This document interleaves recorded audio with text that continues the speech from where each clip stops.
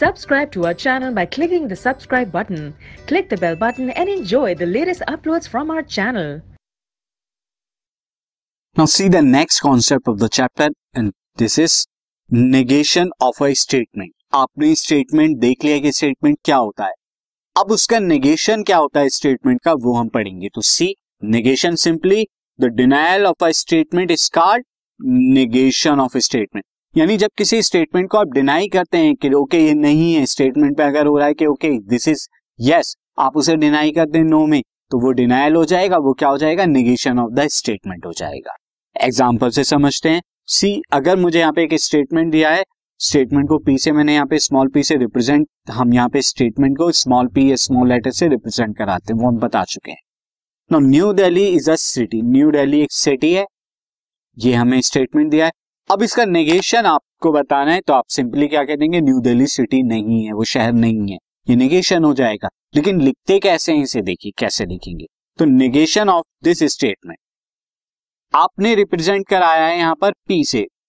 Small P से represent कराया है दिस न्यू दिल्ली सिटी अब इसके निगेशन को जब आप रिप्रेजेंट कराएँगे, किसी भी स्टेटमेंट को, चाहे आपने पी से कराया हो स्मॉल क्यू से स्मॉल आर से स्मॉल एस से तो निगेशन को दिस ये आप निगेशन आगे सिमिलर वाला जो साइन था, इसको आप लगा देंगे निगेशन तो ये क्या हो जाएगा? Negation of P negation of P ये हो जाएगा. ये क्यू स्टेटमेंट है, इसका निगेशन ऑफ़ क्यू ये हो जाएगा.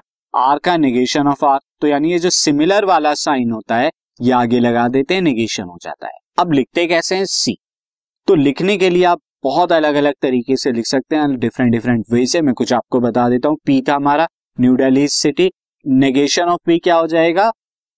It is not the case नहीं, ये केस नहीं है कि that new Delhi is a city पहला मेथड तो ये है कि आप चार जोड़ दें, आगे लिख दें it is not the case ये केस नहीं है that new Delhi is a statement तो आपने यहाँ पर क्या करना है? Only it is not the case that यहाँ तक आप लगा दीजिए, बाकी एज इट इज़ आगे आप स्टेटमेंट को यहाँ पर लिख दीजिए. नेगेशन लिखा हो जाएगा. नाउ नेक्स्ट में नेगेशन ऑफ़ पी को इस तरह भी लिख सकते हैं कि it is false that again अब क्या आगे जोड़ दें? इट इज़ फॉल्स डेट ये आप जोड़ दीजिए और आगे लिख दीजिए new Delhi is a city ये भी नेगेशन हो गया कि इट इज़ फॉल्स ये गलत है कि new Delhi is city again आप डिनाई तो कर रहे हैं पी को। अगेन नेगेशन ऑफ़ पी को इस तरह भी लिख सकते हैं कि new Delhi is not a city सबसे सिंपल मेथड है, सबसे सिंपल तरीके से आप लिख सकते हैं। कि new Delhi is not a city. Simple आप नोट लगा दीजिए, डिनाई हो गया। अब यहाँ पर मैं आपको दो तीन कॉन्सेप्ट बता देता हूँ सी यहाँ पर से एस एस आपने यहाँ पर लिखा कि जैसे two is a even number two एक इवन नंबर है। अब इसका नेगेशन क्या होगा? नेगेशन ऑफ़ एस जो हो जाएगा टू मैं एक इस वे में लिख रहा हूँ, या आप किसी भी ऊपर वे में लिख सकते हैं, इसका नेगेशन हो जाएगा two is not a even number. Two एक इवन नंबर नहीं है। अब कभी भी आप, अगर आप नेगेशन का नेगेशन निकाले, यानी ऑलरेडी आप नेगेशन यहाँ बता चुके हैं किसी स्टेटमेंट का, और इसका फिर से नेगेशन निकालना यानी double negation negation of negation है अब इसको अगर आपको डिनाई करना है कि two is not a even number आप इमेजिन कीजिए कि भाई two is not a even number ये आपका स्टेटमेंट है, इसको डिनाई करना है तो आप डिनाई कैसे करेंगे? सिंपली आप नॉट को हटा देंगे तो क्या आ जाएगा?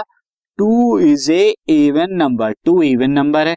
तो आप देख रहे हैं कि जब आपने निगेशन ऑफ़ द स्टेटमेंट का निगेशन निकाला तो वो नथिंग बट पुराना स्टेटमेंट आ गया।